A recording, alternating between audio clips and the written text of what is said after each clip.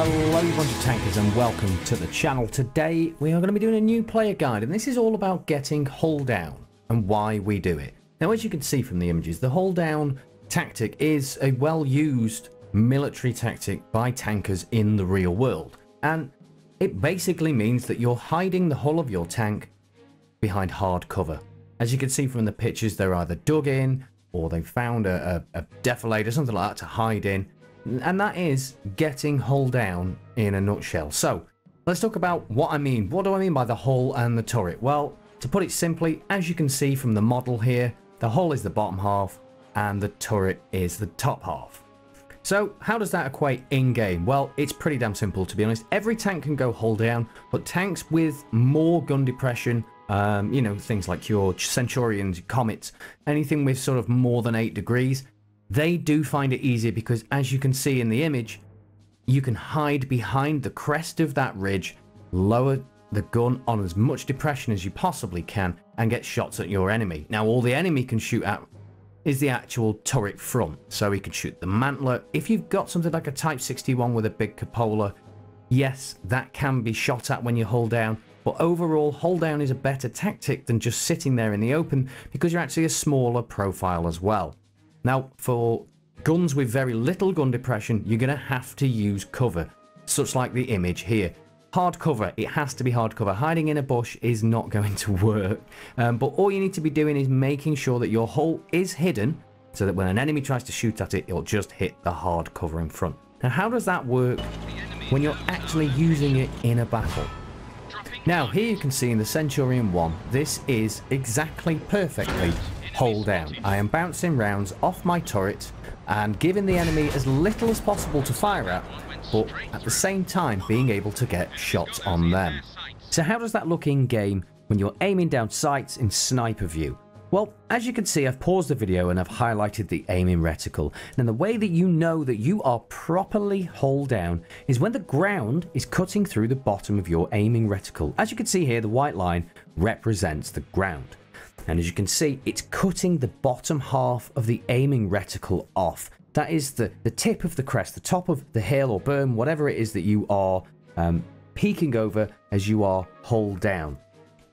Once it's there, you know that all the enemy can see is just your gun and above it. A lot of people get mistaken. They think they're hull down and they aren't. They are exposing their turret ring. And that is a weak point where enemies can shoot and pen you. Now let's look at a tank that doesn't have a lot of gun depression. This is the Type 59-2, and as you can see, it's the same principle, but instead of peeking that ridge trying to get the gun to point down, I'm using the little dip that's on the side of this hill, and I'm sat in there nicely, and we bounce the Minuteman off our turret. And that is the same principle whether you have a lot of gun depression or not a lot of gun depression. As long as the bottom of that reticle is clipping the ground, you are perfectly hull down.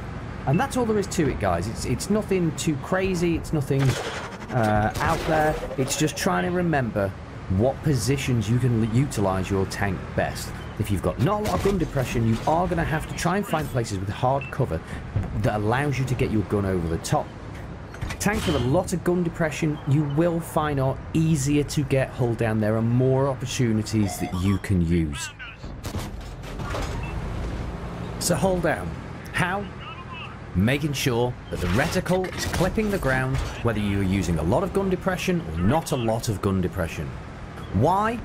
Because it lowers the profile of your tank overall and if you've got a vehicle with really good turret, nice strong turret front, you can really hold a flank down if needed, much like you can see in the Caernarvon here. We're able to hold off the advancement that the Reds are making by utilising our turret armour and making sure we've got hard cover between us. When should you do it?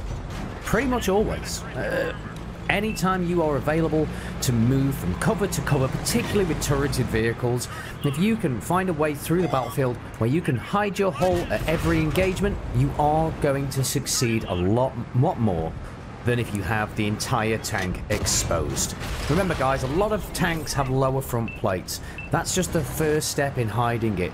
Hull down means that entire hull is covered. That also means your tracks are covered and you aren't going to get tracks in place, giving you chance to adapt to the battlefield. So hull down, an extremely, extremely important tactic. I do recommend learning it and using it every single time you possibly can. But other than that, guys, that's it. That's all there is to it. I hope you enjoyed the video. If you did, leave it a like. If you didn't, leave it a dislike. And if you know any new tankers, make sure you share this video with them. Um, and the new players guide playlist as well. Let them learn the tactics that we all use as veteran players and help them to enjoy the game as much as we do. Thank you for watching. I'll see you all soon.